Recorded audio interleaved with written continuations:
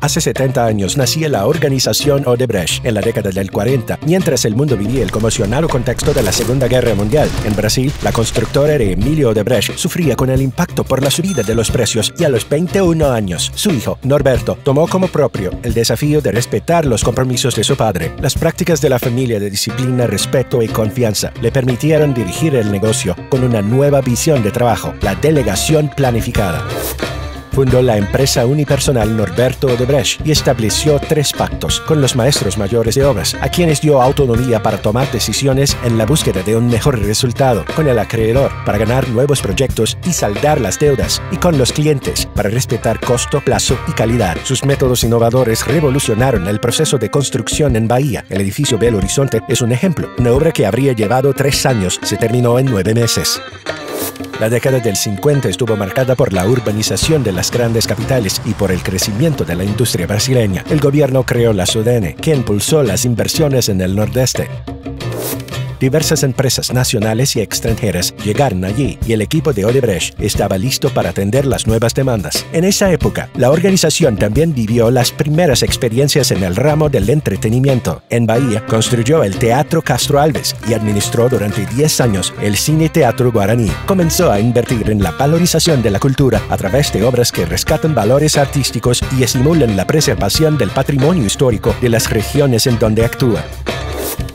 En la década del 60, el mundo transitaba por cambios radicales. Las personas ampliaban sus horizontes y Odebrecht también. La organización adquirió experiencia en obras de gran tamaño y de logística completa. Innovó una vez más cuando utilizó la técnica de hormigón pretensado que permitía construir en menor plazo y con menos costos. La experiencia adquirida le abrió camino a Odebrecht para, al final de la década, desembarcar en el competitivo mercado del sudeste brasileño. En esa época también nació la Fundación Odebrecht para dar apoyo a los integrantes, supliendo las carencias del servicio social. Hoy, esta se dedica a programas de desarrollo sostenible en el Bajo Sur de Bahía.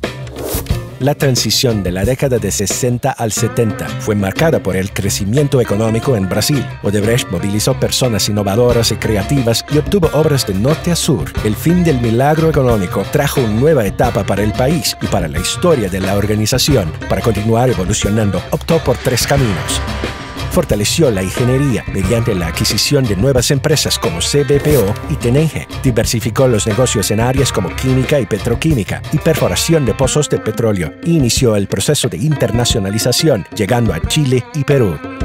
Esta actuación, traspasando las fronteras, se intensificó en la década del 80. El escenario mundial era de desarrollo tecnológico y Odebrecht acompañó la velocidad de los acontecimientos. Buscó la tecnología adecuada para satisfacer las demandas de sus clientes en donde quiera que estuviesen. Llegó a África para construir la hidroeléctrica de Capanda en Angola en pleno periodo de guerra civil.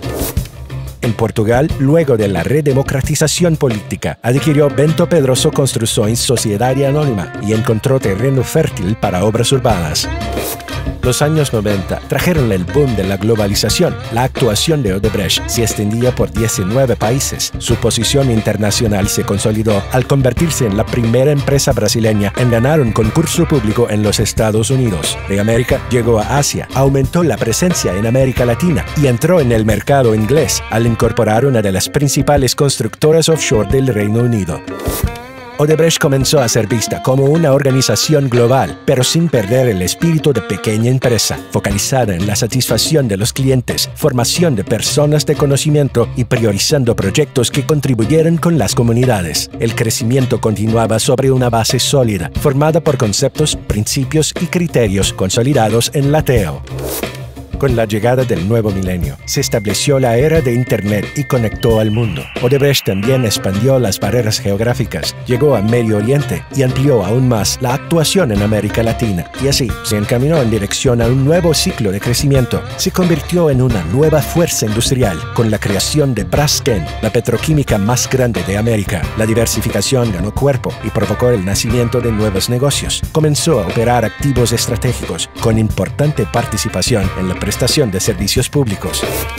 La trayectoria empresarial de Odebrecht se renueva cada día. Las metas de la Visión 2020 son nuestro nuevo destino. Representan el futuro que queremos. Que Odebrecht sea una de las organizaciones más admiradas del mundo, reconocida por su capacidad realizadora y que valora el desarrollo sostenible de las comunidades en donde actúa. ¿Quién lo hará realidad? Nuestros integrantes, personas de conocimiento de diversas nacionalidades, unidos por una sola cultura, la TEO.